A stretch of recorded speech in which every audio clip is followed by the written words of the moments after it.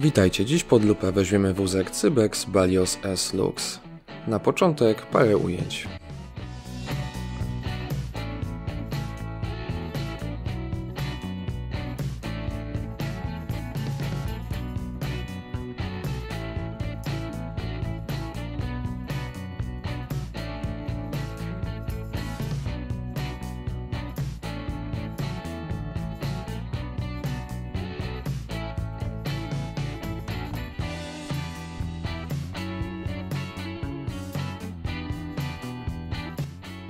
Wnętrze gondoli zapinane jest na zamek, co ułatwia ściąganie do czyszczenia. W nowej wersji Lux dodano wentylację w gondoli.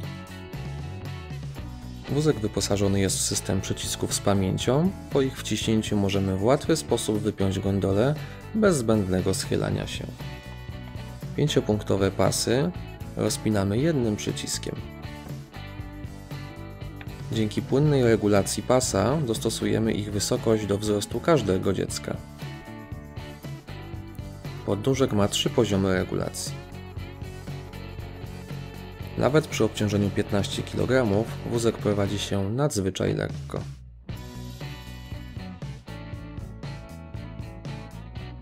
Lekkie siedzisko spacerowe można zapiąć w dwóch kierunkach.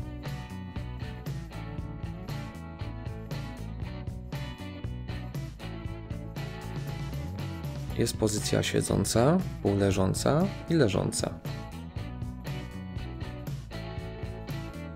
W budzie znajduje się panel z przedłużeniem i wentylacją, który szczególnie przydaje się w pozycji do spania. Stelaż posiada amortyzację na wszystkie cztery koła, które z zewnątrz pokryte są gumą, a wewnątrz mają silikonowe wypełnienie. Można je zablokować zarówno do jazdy na wprost, jak i w pozycji odwrotnej do składania stelaża. Dzięki temu całość będzie stała na kołach i nie zarysuje się od podłoża. W nowej wersji podnóżek jest szerszy i zmieniono jego design. Hamulec można zablokować i odblokować od góry, nie niszcząc przy tym butów. Wózek złożymy w łatwy sposób do małych rozmiarów Rozłożymy go również wygodnie jedną ręką. Stelaż ze spacerówką waży 11,5 kg, co klasyfikuje go w randze lekkich wózków miejskich. Po złożeniu ma 77 cm wysokości oraz 60 cm szerokości. Oczywiście wszystkie koła można wypiąć, aby dodatkowo zmniejszyć rozmiar w transporcie.